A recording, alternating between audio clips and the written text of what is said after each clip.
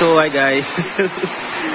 so, ngayon, ah, hindi kami makapag ah, continue ng travel namin papuntang ah, Colombia. It's because it's raining so hard. Nihintay lang namin na tumila yung ulan bago kami ah, mag-proceed dun sa Colombia. Yes. So, see you there guys. Malapit na, malapit na. Malapit na daw. Babay na.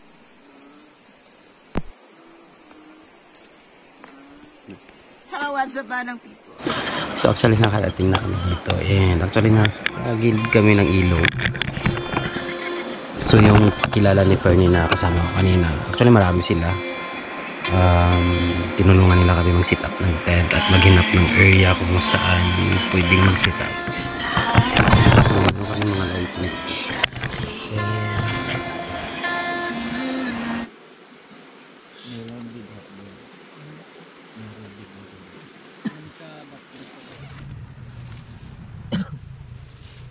hi guys, good morning.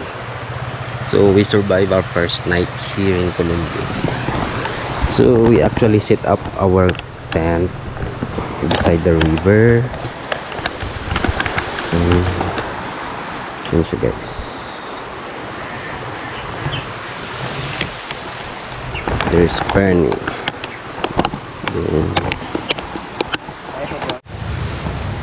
So kakarating lang nila guys.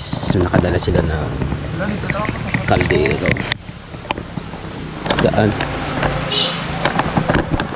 So actually meron kaming dalang butane but ah, sabi nila para makat- mas makatipid dahil maraming kahoy dito. So magkakahoy kami.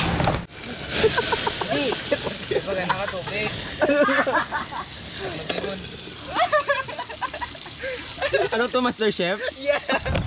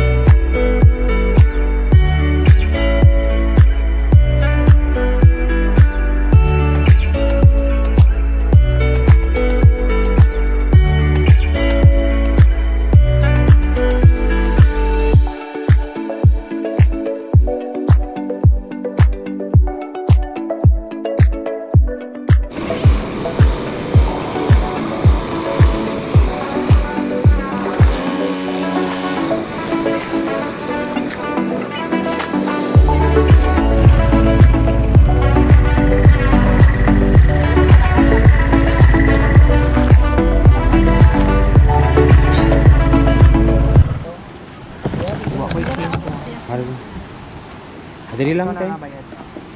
Para. Pwedeng maligo.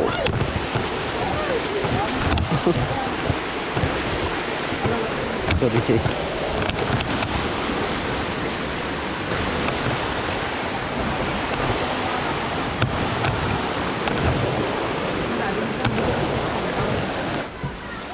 Dagyan, oh, gabi. Diri? So guys, kakarating lang namin dito sa Sinapulan Falls. 10 pesos yung entrance, then 20 pesos your par parking fee para sa motorcycle.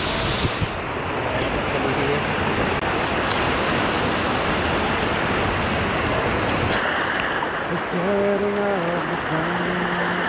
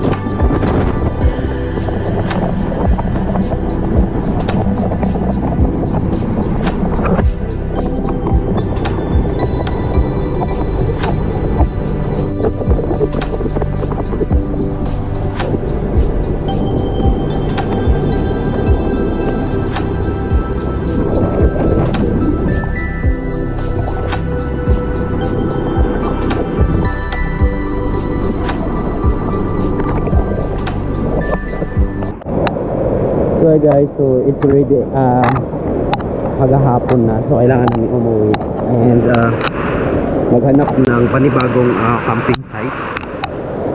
So hopefully uh, nakahanap kami ng uh, mas magandang uh, camping site compare sa uh, camping site namin kahapon.